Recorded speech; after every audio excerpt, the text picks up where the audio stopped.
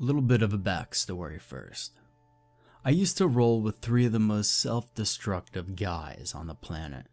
We were constantly in juvenile detention centers. Hell, they had nicknamed us the Four Horsemen. I was a scrappy ass guy and a vandal. My friend Tony was just as scrappy and honestly, most of the time was just guilty of being black in the South in an iffy situation. My friend Jimmy's older brother was a huge drug dealer, so he was permanently on drugs. And our friend Kyle, well, Kyle had lost his leg, and he played that fake leg angle so hard to get away with shit that he was just a straight up criminal. We'd smash windows and smoke pot or take acid. But Kyle, well, he would steal cars and break into stores at night. The four of us stuck together because no one else cared or trusted us, with good reason. Not a good parent amongst the four of us. Love and support were shit on the Disney Channel that didn't actually exist. So when someone got released from JDC, we would steal a bunch of beer, get a bunch of pot, and score some acid or shrooms and take them out to the swamp to get insanely fucked up it was kind of our little welcome home ritual. The swamp was a no man's land. The alligators, boars, bugs, humidity, mud, and crazy redneck meth heads kept all the respectable people away. So, as four guys with no future, it was the flame to our moths. I was about 17 at the time, and Tony was getting out after an altercation with some skinheads in the rural South, there aren't all that uncommon. And while Tony basically got attacked, with his priors and skin tone, they threw the book at him. Me, Jimmy, Jimmy's brother, and Kyle had already kicked the crap out of them while he was locked up. So, there was nothing left to do but go raise hell. So Kyle stole his grandma's old ass Buick Regal we loaded it up with all the party supplies, and we were off at 85 miles per hour towards the deep swamp, guzzling beers to nine inch nails. The ride took 45 minutes, enough time to smoke some bowls and drink, you know, four or five beers each. We were on our way to get obliterated. Well, the closer you get to the swamp, the crappier the roads get. With the mud and all, it gets harder to maintain them. So if you're messed up, you never really get to the same place twice. Because after a while, it's just twisting spider webs of where you think you can drive. We managed to park at what seemed it might be a place to park, and started walking off when Jimmy stopped us. He smiled really big as he whipped out a bag of shrooms from his pants. We all split the bag into four portions, then, without pausing, ate a fistful of magic mushrooms each. Like I said, if destroying your life was a sport, we were in the pros. Then we returned to walking into the dark and isolated swamp woods, thinking as always that we were invincible. I had a backpack full of beer, I mean full. We swiped as much of a pallet as we could carry. Jimmy had all the pot on him because he wore those JNCOs with the giant pockets. Kyle played the I ain't got two legs, so I can't carry shit card as always, and Tony, well, Tony had a gun. I know that is going to worry some people, but we rarely had used guns. But deep in the swamp with alligators and boars and a non 0% chance of meth crazed rednecks, you want one around just in case. No one is winning a fistfight against an alligator, trust me. Normally, how these trips go is we walk on kind of a hike and explore. The drugs kick in and make everything a lot more interesting. We spend the night trying to freak each other out and have fun by breaking, burning, climbing things. Then we spend the morning hungover as hell trying to find the car. It was actually a lot of fun most times, and there were no repercussions. The shrooms started kicking in as the sun started setting. I remember seeing swirls and stretched out shadows of the trees and on the water. The forest took an orange hue that filled me with warmth as we started settling down with the bad jokes and started climbing over things deeper into the swamp. We weren't so much trying to be quiet, but with some of the dangers around, we weren't trying to be loud either. More talking in hushed tones, and you could tell all of us were just kind of vibing with the sense of adventure at the moment. It was common at the beginning, kind of attuning to nature and feeling the openness, taking it in and letting each other take it in too. I started to get a really bad feeling as it got darker, but I pushed it away, thinking I was just trying to ruin my trip, and the forest was getting spooky on me for a second. When you hallucinate, you have to watch how you feel first. Because if you give in to bad feelings, you hallucinate bad things. So, generally, if you keep your spirits and reinforce good feelings, you have a good time.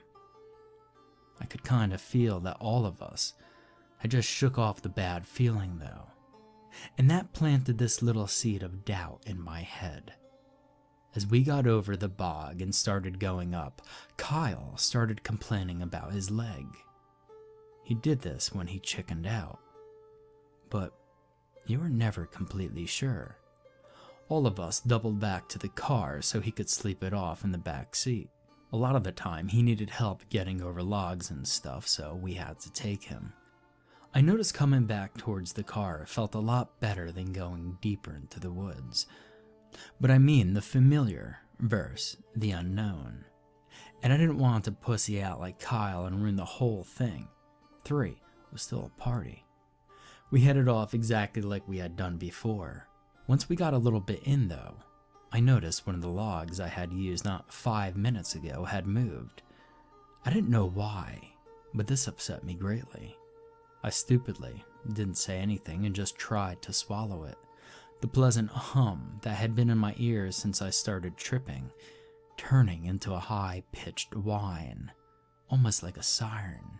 We went back over some ponds and into the deeper forest where it got really dark. Without Kyle there, we moved a lot faster. About 30 minutes of climbing over rocks and branches and pushing in between trees and shrubs. A violent shaking of the bush to the side of us made us all stop.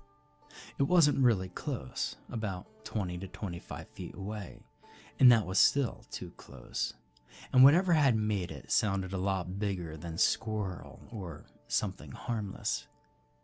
In my mind's eye, I was picturing either a boar or a gator, neither of which was a good thing. Years of doing stupid shit together had locked us together. Jimmy, Tony, and I instantly started walking backward ever so slowly and ever so lightly. I guess there are some carryover skills to being delinquents. About 20 more feet of that, and another violent brush, shaking happened, followed by what sounded almost like a snarl. You know that sound when two dogs suddenly go nuts at each other? That growl that sounds like it tore the air? I get three silent taps on the shoulder. It's Tony and that's our silent code to run as fast as fucking possible in about three seconds. I'm not arguing and tap Jimmy in the dark. We had been pulling closer to each other as we pulled back, so at this point, it was shoulder to shoulder. As we turned away and ran, and I mean fast, we were criminals. I got about six steps before something slams into the back of me. I can hear cans falling out of the bag and popping. I smell like beer and I run even harder. Five minutes of pure running full out and the sounds of the chase go silent. Five minutes after that, we stop running as we come close to the crossing where Kyle turned back. Hey, help me cross, Kyle says from the other bank. I guess he decided to man up. The shots ring out over the water, and Kyle falls over backwards, holding a bullet wound to the chest. I dive at Tony, pointing. We struggle, and he's fighting me, but I had him from pouncing first. I manage to yank the pistol free, and Tony stares at me, wild eyed. Two, Tony says. And I say, To what? Two legs, motherfucker. Kyle had two legs, Tony says. I point the gun at where Kyle fell, and we start making the way over there. After we got to the scene, he was gone. A trail of blood leads through the brush and into the woods on the side of the bank. I start moving to follow the trail. Tony grabs my arm tight. Check the car first. If Kyle isn't there, then we could go after him, Tony says. Now, Tony is completely terrified. I don't really want to believe my best friend just killed my other best friend, and Jimmy looks like he just wants to go home. So we turn towards the car, and I still have the gun out, and I'm listening hard to make sure Tony doesn't try to get it as much as anything else. We make it to the car okay, and I just hand the gun back to Tony. Kyle is sleeping in the back seat, fake leg off, and on the floor of the car. I wish I could tell you. We went back to figure out exactly what happened, but we jumped in the car and sped off. All three of us agreed we definitely saw the top half of Kyle, and that was definitely Kyle's voice we heard. One of us may have hallucinated, but all three of us? And the blood was real too. I had some on my pant leg. I was more worried at first that we had killed someone than anything when I remembered the backpack I had on. Speeding down the back road, I pulled the backpack off, and the only thing left in it was two mangled Pabst Blue Ribbon cans. When I held up the pack, though, there was four shreds from a claw. Nothing in that swamp has claws like that. Cougars don't go that deep into the bog, and the claws were more hand sized.